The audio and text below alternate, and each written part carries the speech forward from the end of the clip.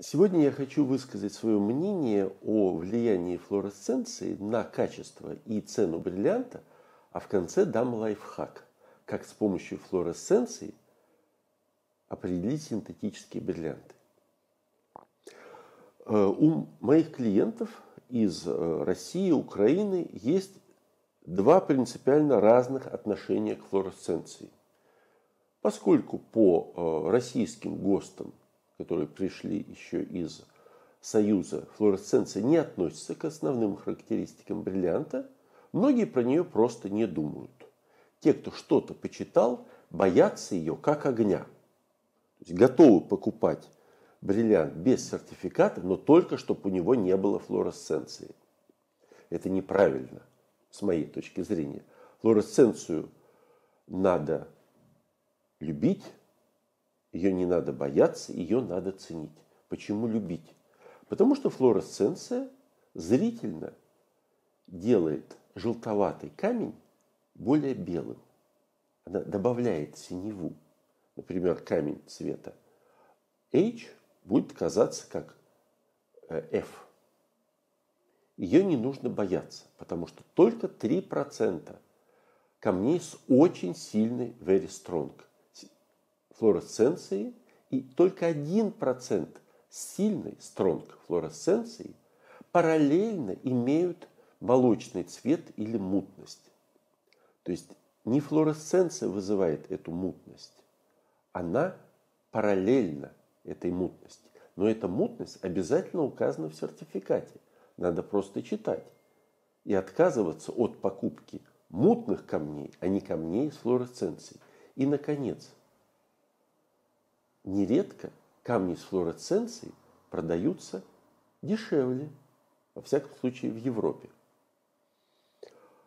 А, и самое главное, почему ее нужно ценить, потому что все камни с синей флуоресценцией натуральные.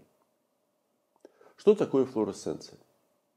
Если вы в затемненном э, пространстве помещаете бриллианты под излучи, ультра фиолетовое излучение, невидимое глазом, то некоторые из них издают уже видимое глазом излучение. Оно может быть белое, голубое, синее, желтое, красное, зеленое. Флуоресценции э, различаются нулевая, слабая, средняя, сильная, очень сильная.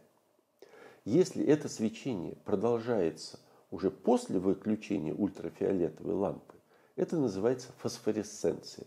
Это уже другое.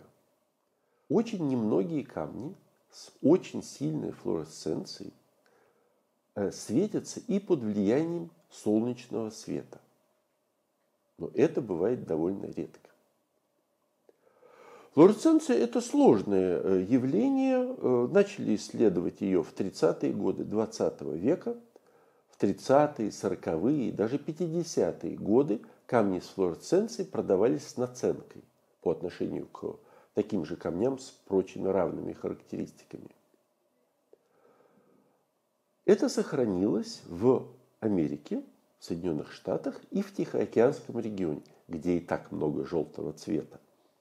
А там до сих пор камни с флуоресценцией продаются с наценкой 5-10%. В Европе ситуация обратная. В Европе не хватает желтого цвета, а много.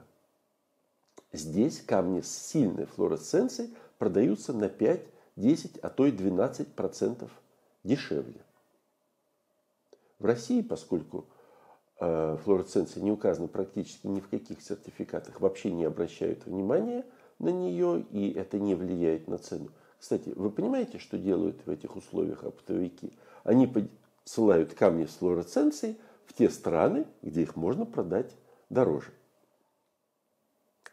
На сайте ЖИА, Гемологического института Америки, сертификаты которого так э, ценят во многих странах, э, сейчас находится более 4,5 тысяч статей, посвященных флуоресценции бриллиантов. И вот статьи последних 5-7 лет говорят одно и то же, что молочность или мутность бриллиантов связано не с флуоресценцией, а с дефектами на атомном уровне.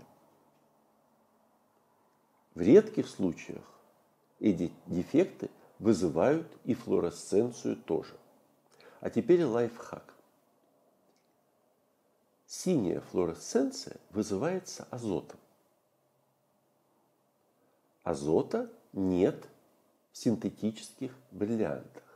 Значит, если вам нужно, если вам приходится покупать бриллиант без сертификата или с сертификатами ненадежных лабораторий, э, которые не точно показывают, это натуральный или синтетический камень, извините, на территории России э, гарантированно это говорит только сертификат Московского университета.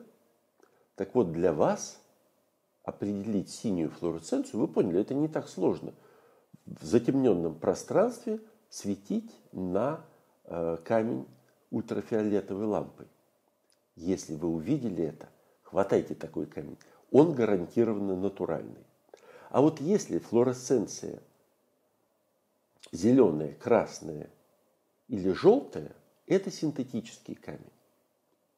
Зеленая бывает у некоторых э, натуральных камней, которые э, подверглись обязательно облагораживанию методом HPHT, то есть высокое давление, высокая температура. Но это, э, поверьте, исключение. То есть синяя флуоресценция – это натуральный, красная, зеленая, желтая – синтетика.